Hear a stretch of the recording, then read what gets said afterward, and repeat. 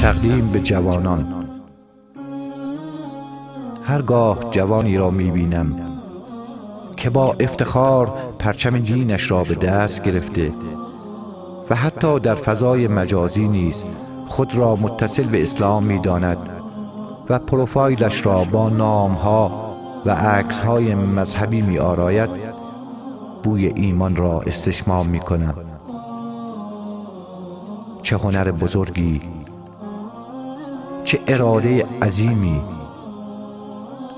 خدایا تو شاهدی. یا رب تو شاهدی.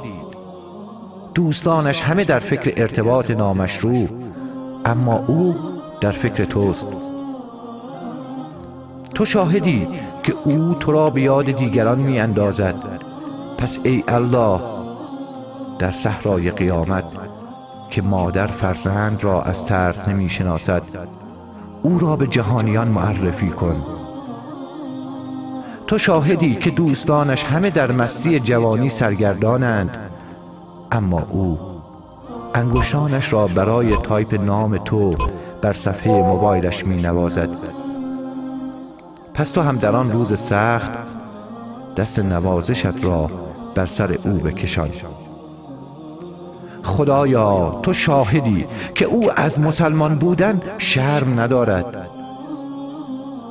تو شاهدی که او با افتخار و احساسی وصف ناشدنی احادیث و آیات قرآنت را برای دیگران روایت می کند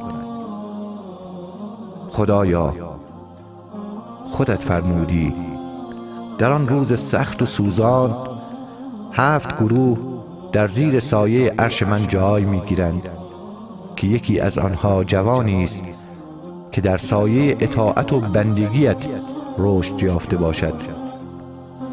پس ای قادر مطلق تو شاهد باش که او اینگونه است وعدت را به او عطا نما که تو در وعده هرگز خلاف نمی کنی.